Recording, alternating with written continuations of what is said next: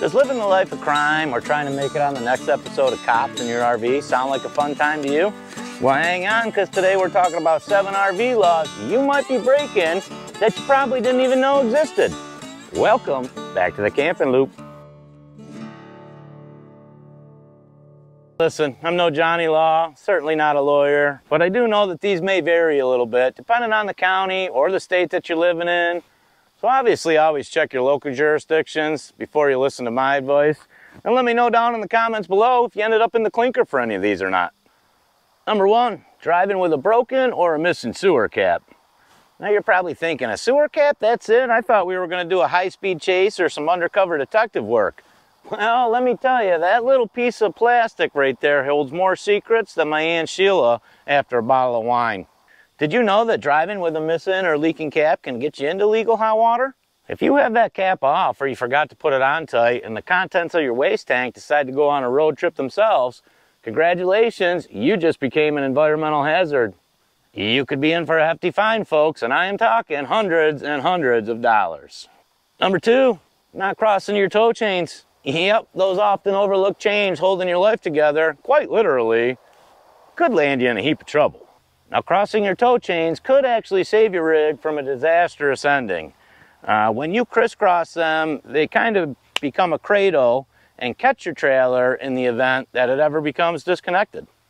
Now again, the laws do vary from state to state and there are some arguments out there like, what if the chains are both coming from the same central point on the trailer? Well, the best I guess I can say to this is cross them anyway. It's safer and it might save you a hefty fine depending on where you're traveling.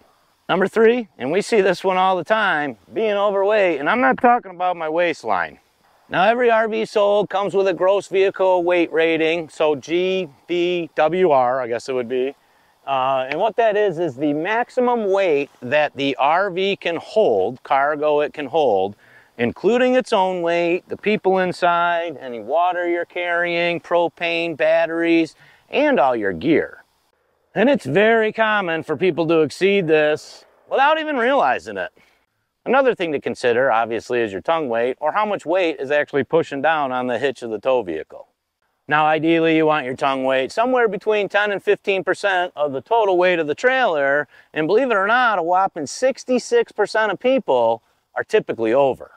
Now remember, check your RV and your vehicle specs before hitting the road and packing it to the brim. That way, you're gonna avoid the fine, have a safer trip, and it wouldn't be a bad idea to pull into one of them there fancy truck scales and get an idea where you're at. Number four, and definitely my favorite, no booze in the state parks. Now I know, calm down, but here where we're at in New York, there are some state parks where they don't let you crack a cold one while you're sitting around the fire. Matter of fact, before you head to your next RV destination, you might want to do your homework and look up the park regulations. Even if some of the state parks do allow booze, they still have regulations on like what kind, as far as like no glass bottles, no beer balls, no beer kegs, things like that. Number five, driving on the parkway or other specific roads. Now you might be thinking, what's the big deal, right? Just another big, beautiful road for me to drive on. Wrong. Parkways are like the VIP of highway section, and most of them have low bridges, low clearance, and no commercial traffic allowed. Now obviously parkways aren't the only places that have limited RV access. Most, if not all states, are going to have weight and height restrictions that you're going to need to be aware of. For example, if you guys have a Class A motorhome that's weighing in at 10 or 12,000 pounds, there's probably a lot of restrictions on those roads as far as bridges and clearances that you need to know about. And if you get caught driving on them, you're going to face a hefty fine and possibly have your rig towed. Number six, driving with your propane on.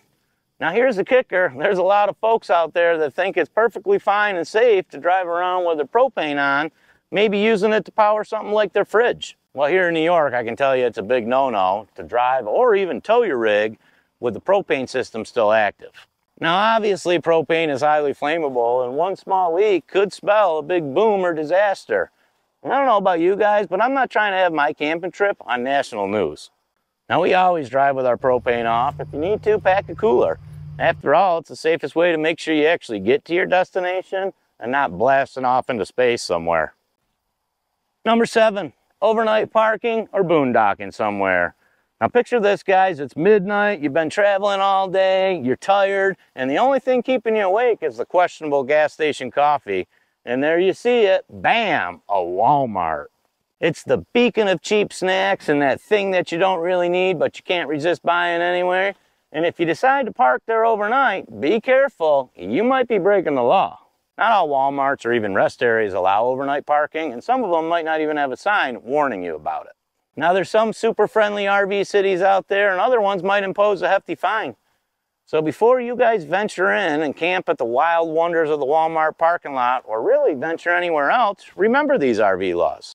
Or don't, just keep doing what you're doing until somebody blows you in. Either way, we're in this crazy RV thing together.